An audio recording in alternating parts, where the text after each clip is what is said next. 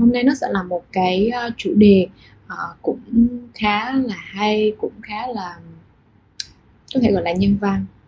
Vì uh, nó liên quan về cái cái uh, cái đức tính cái uh, cái giá trị của con người. Đó là ethic. Ethic có nghĩa là một cái cái um, danh từ. Nó nói về đạo đức của con người. À đạo đức. Ừ. thực ra thì mỗi uh, à khoe mọi người xíu hôm nay cái slide siêu đẹp luôn nhỉ? Slide hôm nay mọi người có thấy cái gì nó đặc biệt không? Nó đẹp là nó đẹp từ cái gì không? Ừ, cái hình ảnh kế bên cái dòng chữ đó là vàng. Giống như cái việc rằng là đạo đức là vàng mọi người. Đạo đức là vàng rất là quý rất là quý giá. Thì uh, thực ra thì mỗi cái ngành nghề thì ừ, mỗi ngành nghề tất tất cả các cái ngành nghề và đặc biệt là cái ngành thực phẩm tiêu dùng mà nếu khi một khi mà muốn phát triển thì không thể xem nhẹ những cái yếu tố như thế này là yếu tố về mặt đạo đức. Ừ. à, hôm nay thì chúng ta sẽ nhìn nhận về à, ngành công nghiệp cà phê. À, liệu rằng thì các à, cái cái yếu tố này thì nó tác động như thế nào đến cái sự phát triển của ngành cà phê?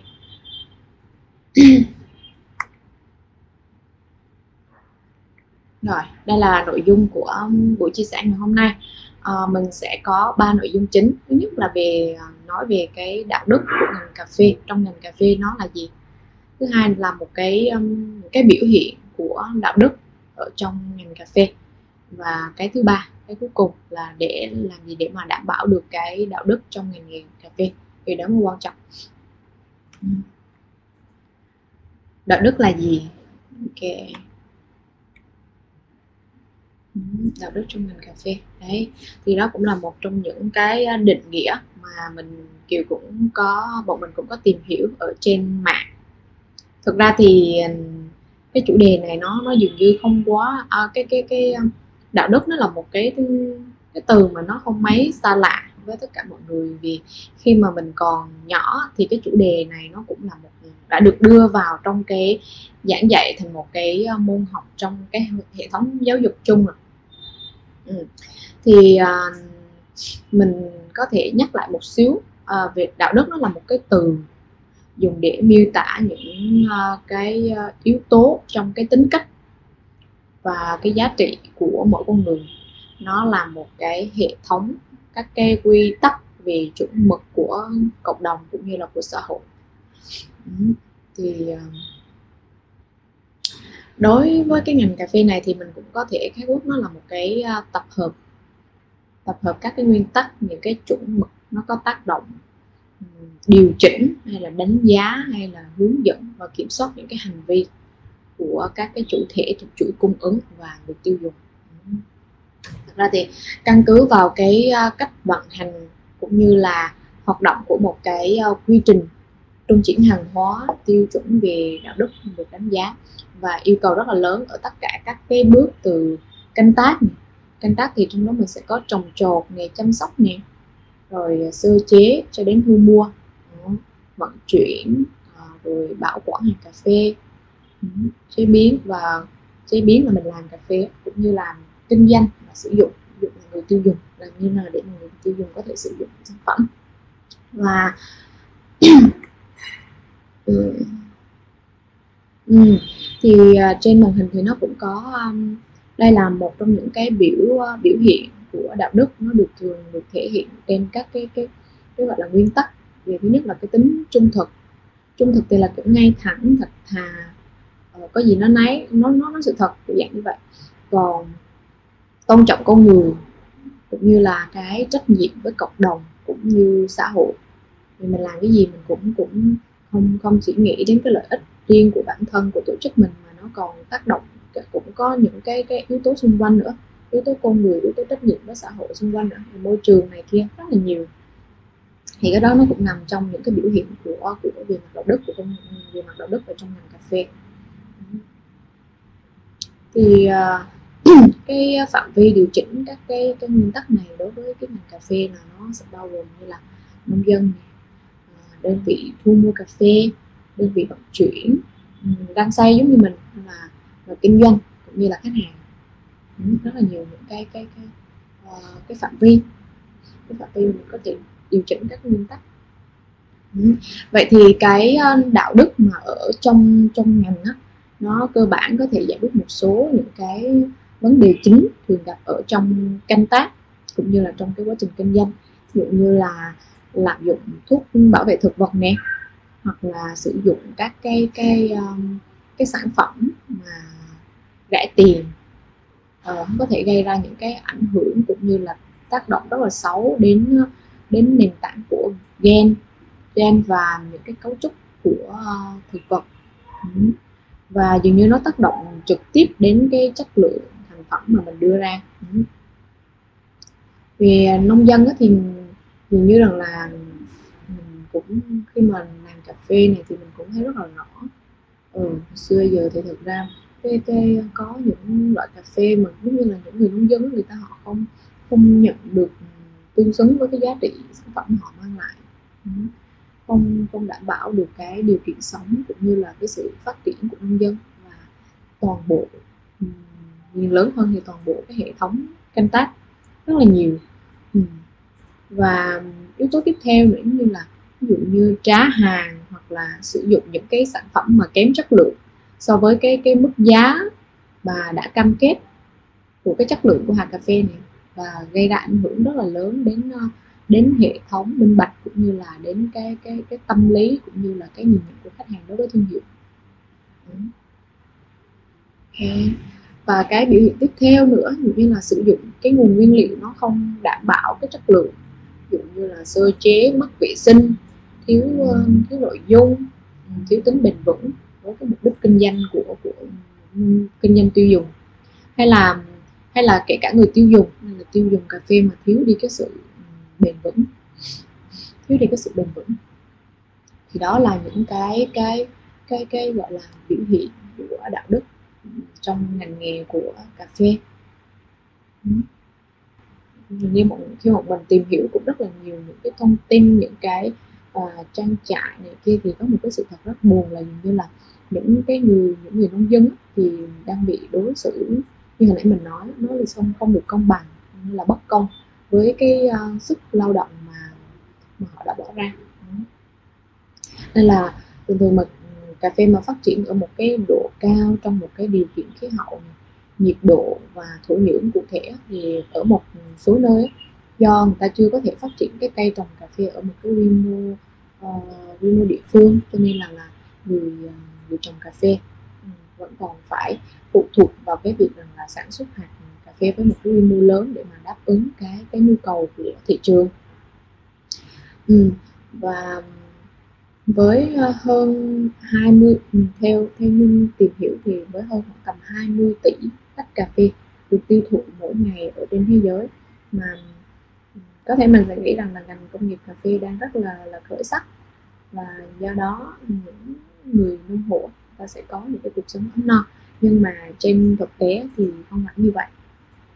Ừ, trong cuộc uh, khảo sát có trong cuộc khảo sát uh, có khoảng 25 triệu ờ, nông dân trồng cà phê làm việc ở các cái trang trại nhỏ nhỏ và thường là gia đình tự quản. Để mà ờ, để sản xuất cà phê thì khoảng có 12 triệu nông dân. Người ta trong số này thì có cái cuộc sống ở mức rất là nghèo khổ và cái mức thu nhập của người ta là khoảng ờ, 3,2 đô la 3,2 ừ, đô la trên một ngày. Ừ. Và không chỉ ở mức thấp mà những người này ờ, còn phải làm việc trong một cái điều kiện lao động rất là khó khăn nguy hiểm nữa. Nhiều cái chủ trang trại thì người ta sống ở một cái cảnh rất là nghèo đó điều kiện vệ sinh kém. Và nhiều cái ngôi nhà không có phù hợp với với với, với nơi ở của con người nữa mà nó chỉ đơn giản là cái miếng gỗ mà nó lát cái cái lát gỗ người ta được xây dựng sơ sài. Nó, nó thì không có cái tác dụng gì để mà chống chọi lại các cái điều kiện xấu tiêu cực xấu của của, của thời tiết ấy. và thậm chí thì nhiều nơi nó không còn không có có nước sinh hoạt nữa kia rất là khó khăn ừ. và một cái báo cáo năm 2020 á, thì à, ừ, họ cũng đưa ra một cái cái nhìn nhận khách quan và rất là đau lòng về cái điều kiện mà việc như làm việc như một nô lệ tại các trang trại cà phê của Brazil ừ. và điều này cho thấy thì cái mức độ của những cái à, uh, ảnh hưởng kinh hoàng mà mà mà nhiều công dân công nhân ở đây đang làm việc trên một uh, một trong những cái mặt hàng và có giá trị nhất trên thế giới phải đối mặt. Thì thông thường cà phê nó được khai thác ở những cái vùng mà có một cái điều kiện tương đối khó khăn. Nơi đó thì những nông dân trồng cà phê người ta chưa có được cái mức sống đảm bảo và chính vì vậy cho nên là cái vấn đề về đạo đức nó cần được quan tâm một cách cần thiết hơn. Ừ. vấn đề này nó cần cần phải được quan tâm cần thiết vì cái cái đầu nguồn của mình thì nó rất là quan trọng. Khi mà cái điều kiện sinh kế hay là cái ờ, phúc lợi của họ hay là cái ừ, cái kinh tế của họ không đảm bảo thì ừ, cái việc ờ, tác động đến cái chất lượng của cái cái bản thân hạt cà phê nó cũng rất là lớn. Ừ và cái hoạt động mà canh tác và thu mua cà phê thì cần rất nhiều những cái vai đò vai, vai trò của cái tính đạo đức từ mọi cái thành tố cấu tạo nên một cái hệ thống này. Thì à, như mình cũng có biết thì trong cái canh tác cà phê nó cần nhiều hơn là 4 năm để mà người nông dân có thể um, thu hoạch. Thu hoạch thu hoạch vụ mùa đầu tiên từ cái hệ thống cây trồng mới và để mà thúc đẩy cái quá trình này thì cái việc uh, sinh trưởng và phát triển của cây cà phê thì hạn chế cái sự phá hoại của các loại sâu bệnh. Ít nơi thì người ta đã lạm dụng những cái uh, loại phân phân hóa học và thuốc nhằm bảo vệ thực vật thì nhiều cái loại thuốc trừ sâu này thuốc diệt côn trùng thì được phun trực tiếp vào cây trồng. Nên là nó sẽ uh, kết thúc trong trong cà phê mà mọi người ăn uống hàng ngày và đó là một cái gây hại cho cơ thể của mình ừ. điều này thì ờ, tác động rất là trực tiếp ừ, đến cái tính bền vững chung của cái cơ cấu ngành, rất là lớn ừ. ừ. Đây.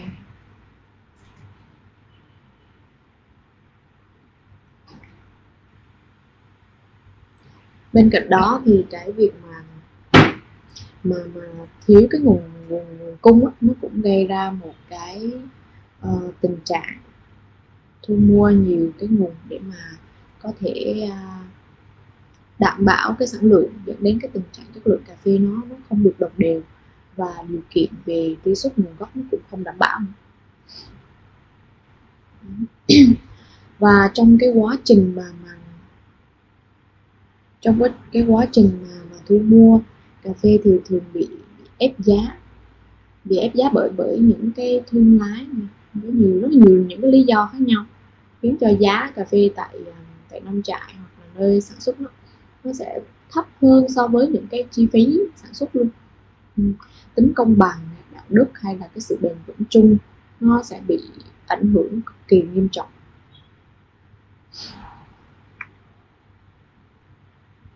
Và hoạt động về hoạt động kinh doanh tiêu dùng.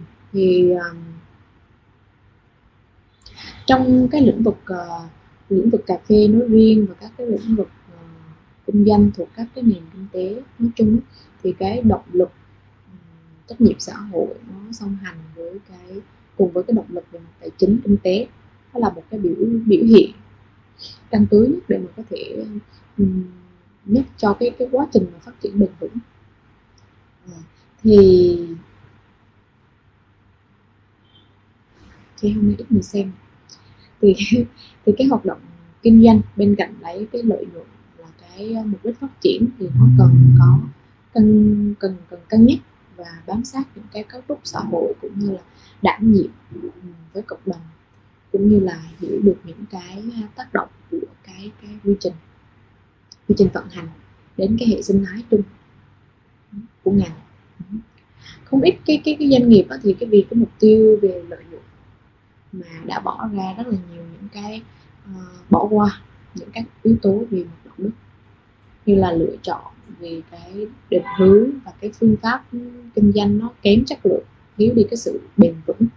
Như là như là đây này trên màn hình thì cũng cũng nói là ờ, như là sử dụng cái nguồn nguyên liệu kém chất lượng không có nguồn gốc rõ ràng gian dối trong cái quá trình giới thiệu và truyền tải giá trị sản phẩm đến khách hàng. Không có một chính sách phúc lợi đối với người lao động trực thuộc doanh nghiệp hay có hành vi trốn thuế, né tránh các chế tài quản lý của hệ thống pháp luật hiện tại.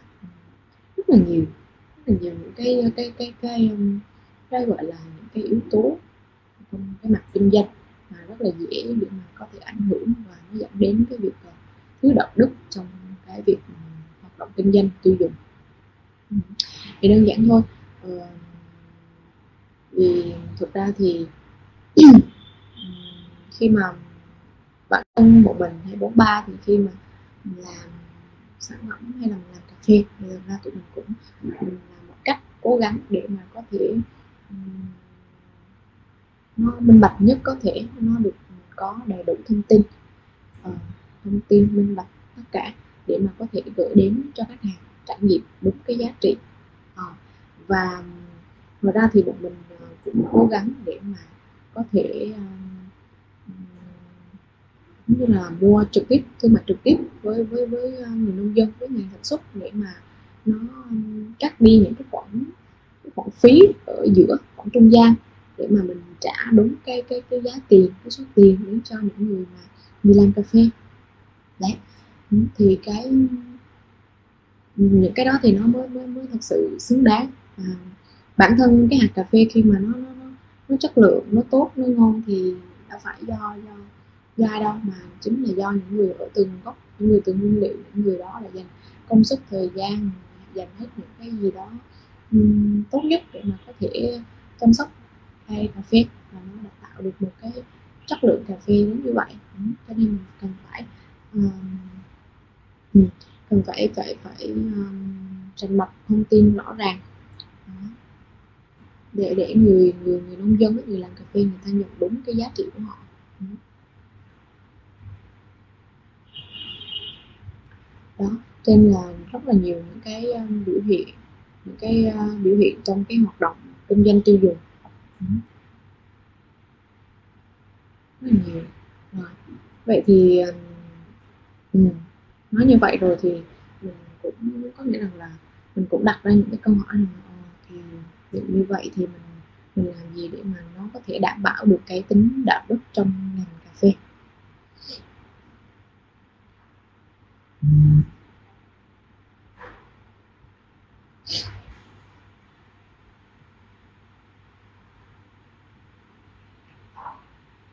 ừ. thì một cách để mà có thể uh, giải quyết được phần nào về cái vấn đề đạo đức trong trong ngành cà phê tức là sử dụng cũng như là thu mua cà phê từ tận nông hộ như kiều mới vừa nói hồi nãy cái điều đó rất là quan trọng. Với cái giá thành cũng với cái giá thành nó công bằng với cái hệ thống nó minh bạch minh bạch là uh, như uh, như hiện tại thì bọn mình uh, các cái cái nông trại các cái nhà sản xuất mà bọn mình đang hướng đến thì nó sẽ là direct trade nghĩa là, là thương mại trực tiếp với với với những nông hộ luôn ừ.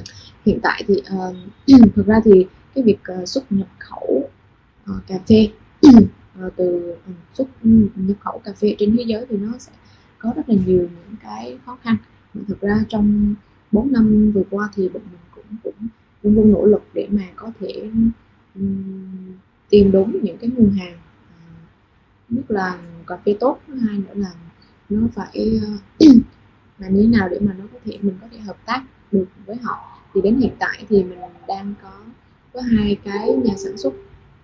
Ừ, có hai cái nhà sản xuất rất là, là mình tụi mình đang làm việc trực tiếp với họ. Đó chính là cái loại cà phê mà El Lechero ờ, từ Peru. Hiện tại mình đang hiện tại mình đang đang uh, hiện tại mình đang đang tiêu dùng đang sử dụng tại cửa hàng. Ừ.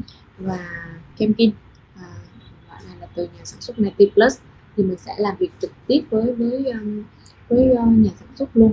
Thì cái này thì nó sẽ hạn chế đi những cái khoản khoản chi phí ở trung gian.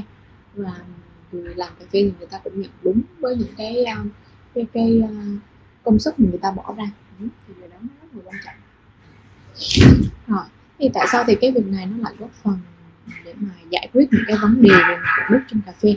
Khi mà người tiêu dùng lựa chọn những cái loại cà phê nó có nguồn gốc rõ ràng đến từ đến từ nông hộ thì trước tiên đó là ừ, trước trước tiên à, chính điều đó nó là sự ghi nhận đối với cái công sức của những người nông dân ở đây. Ừ, như hồi nãy chị cũng có nói rồi đó.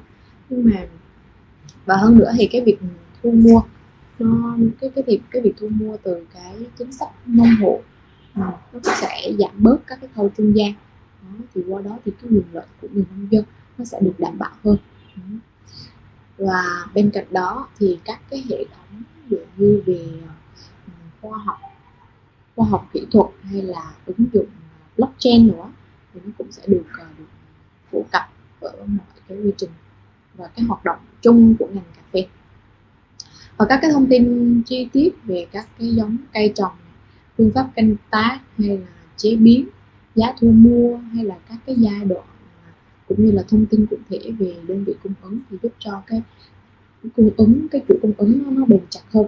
Thì uh, trên bọn mình các cái loại cà phê mà bọn mình đang đang hợp tác đang liên kết thì uh, mình trong các buổi livestream thì mình luôn luôn nói về cái chủ đề này. Bởi vì cái việc mà tụi mình lựa chọn một loại cà phê nào đó thì nó rất là khắc khe. Vì nó, nó không chỉ cái việc mà uh, cà phê nó ngon nó được đánh giá cao về chất lượng hạt cà phê nó chưa đủ ờ thực ra bây giờ cái việc mà mua cà phê ngon rất là dễ thì mọi người chỉ cần ở, ở đây nhập khẩu ừ, ấm nút phát là có rồi ừ. nhưng mà nhưng mà nhưng mà nhưng mà khi mà nói đến lâu dài đến bền vững đến sự bền vững thì nó còn cái, những cái yếu tố xung quanh như là cái cái cái nông trại hay là những cái nhà sản xuất này người ta hoạt động nó có bền vững hay không người ta họ có mang lại những cái phúc lợi những cái giá trị cho những người lao động hay là không? Ờ, ừ, thì bên cạnh đó mình cũng ờ, cũng cũng hy vào, vào đó thì mình sẽ liên kết với những cái ờ, cái cái, cái ờ, nhà sản xuất mà nó nó mang lại cái tầm ảnh hưởng rất là tốt đến ngành đến nghề như vậy thì để mà rất là, là khuyến khích để mà mình có thể hợp tác cho nên là, là mỗi lần cà phê thì trên tiktok nó khi mà mọi người ờ, khi mà ai đã từng trải nghiệm cà phê ở bốn ba rồi á thì ờ, mọi người sẽ thấy là có một cái cái cái tờ cái tờ thông tin. Một mình public đầy đủ những cái thông tin đó trên trên thông tin về về về về nông hộ này hay là cả về giá cà phê. Ừ, về giá cà phê và tất cả mọi thứ nói chung là về những cái thông tin của hạt cà phê đó thì bản thân mình bản thân người mình sinh ra thì mình cũng có giấy khai sinh này kia. Khi hạt cà phê nó cũng vậy nó cần phải được minh bạch nó cần phải được rõ ràng. Để khi mà khi người tiêu dùng trải nghiệm thì người ta biết được cái cái cái sản phẩm cái giá người ta nhận được cái giá trị và người ta biết được cái cái sản phẩm này nó đến từ đâu và nó như thế nào và nó đã để lại chất lượng hay là như nào có có, có tốt hay là không. Ừ thì đó bên cạnh cái việc uống cà phê ngon thì nó còn còn rất là nhiều cái yếu tố nữa. Ừ. Nên là bây giờ trên thị trường này à, à, có thể là phục vụ cà phê này nhưng mà chưa chắc đó là cà phê đó nên là cái thông tin nó rất là quan trọng. Ừ. Có nguồn gốc xuất xứ rõ ràng ai là người nó nó nó chi tiết đến cái mức độ là ai là người quản lý cái cái lô hàng đó luôn hay là ai là người uh, trực tiếp um, đảm nhiệm cái trách nhiệm của cái nông trại đó uh, người chịu trách nhiệm của trang trại đó luôn. Để nó rõ ràng đến cái mức độ đấy thì có nghĩa là cái cái cái uh, cầu trách nhiệm nó sẽ cao hơn và nó sẽ đảm bảo được cái cái mặt đạo đức ở trong ngành nghề cà phê cũng như là trong chuỗi cung ứng của cà phê hơn. Ừ, rất là rộng nên là cái cái đạo đức nó được cụ thể hóa qua những cái cái thông tin con số nó sẽ giúp cho cho cho người mua có một cái cái nhìn nó rõ hơn về cái chất lượng sản phẩm ừ, và đưa ra những cái uh, quyết định tiêu dùng nó gọi là xác đáng chính xác hơn đó. và trao những cái giá trị này xứng đáng đến cho đúng đối tượng đúng đúng với đối tượng ừ. những cái cách làm à, này thì nó nó đang và được rất là nhiều những cái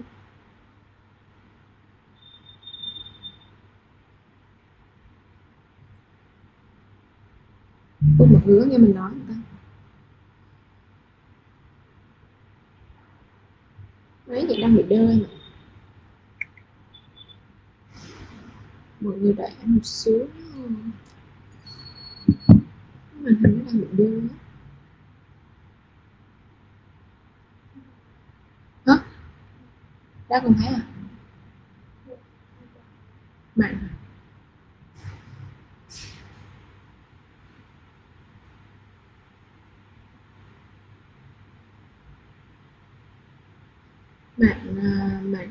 yếu mọi người.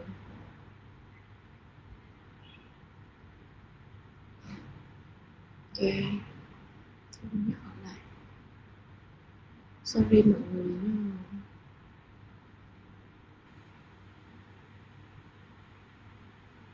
ừ, ok được vào đó nha. Ừ. Ok đúng không?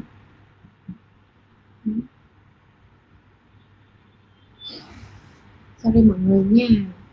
Và những cái cách làm này thì nó dường như là được rất là nhiều những cái nhà rang đang xây trên thế, thế giới lựa chọn là kiểu minh bạch thông tin này kia như nãy giờ mình nói đó. Ừ.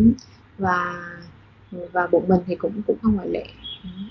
Mình thì chú trọng về chọn những loại cà phê mà nó có thông tin đầy đủ.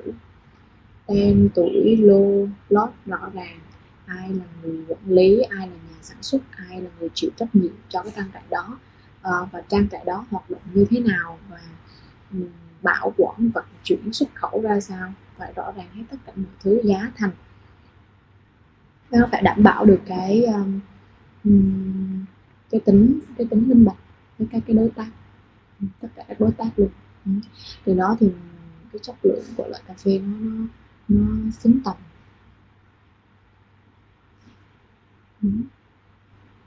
Và tuy nhiên thì khi mình nhìn nhận một cách thực tế thì bên cạnh cái sự ờ, ờ, quan tâm của chính phủ trong cái vấn đề về điều kiện sản xuất cà phê hay là những cái chính sách về phúc lợi cho cho cho nhân sự tại các trang trại hay là quản lý những cái giá bán.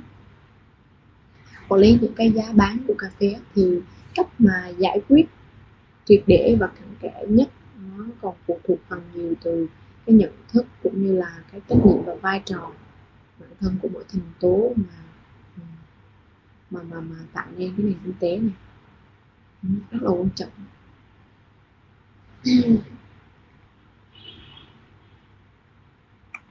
Ừ.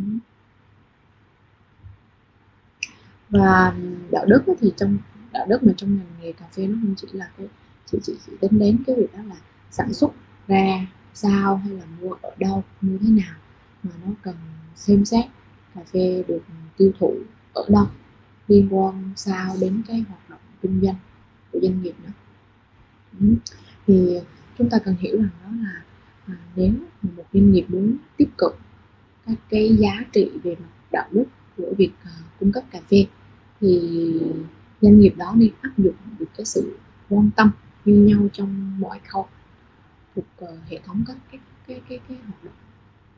Thì cái điều này nó có nghĩa rằng là xem xét uh, thực phẩm được phục vụ đến từ đâu này nó tác động về môi trường xã hội của cái việc uh, sản xuất nó ra làm ừ, nó nó nó là gì và nó đảm bảo nhân sự làm việc trong được đối xử tôn trọng và trả trả công rất là công bằng. Ừ. Và trên hết thì để mà đảm bảo được cái việc kinh doanh được điều hành theo theo cách cái nguyên tắc về mặt đạo đức đó, thì không trốn thuế này khuyến khích bình đẳng hay là đa dạng tại cái nơi làm việc nhiều. Ừ, thì rất là nhiều rất là nhiều những cái cái cái điều mà liên quan làm cà phê nó không chỉ đơn giản là bán ly cà phê xong rồi thu lợi nhuận đâu có phải như vậy đâu. Ừ, mình làm mình sẽ nghĩ cho rất là nhiều người cho những những người những người làm ra hàng cà phê những người ờ, những người nông dân ờ, những người ờ, tiêu dùng hay kể cả những người làm cà phê như như những nhân sự nhân sự của mình này nhưng mà mình làm gì mình cũng phải uh, hướng đến những cái cái, cái giá trị những đối tượng mà nó tác động đến như là tạo ra. Ừ. Và bộ mình thì luôn cố gắng minh bạch về giá hay là nguồn gốc và hương vị và toàn bộ những cái thông tin thuộc uh, chuỗi cà phê nên là các các bạn những người mà thưởng thức cà phê mà có kiểm tra điều này thì cà phê nó được kèm với một cái cái tác với thành phẩm giống như là mình nãy mình nói. Nên là bọn mình cũng mong muốn là, là tuy là cái sự góp sức không nhiều nhưng mà mong muốn là một cái tụi mình sẽ là một cái cái cầu nối mà nó có thể um, đưa người tiêu dùng gần hơn với lại ờ, cái giá trị sản phẩm những cái hay là gần hơn với người làm cà phê. Ừ, để mà hiểu rõ được những cái giá trị những cái chất lượng của sản phẩm cà phê.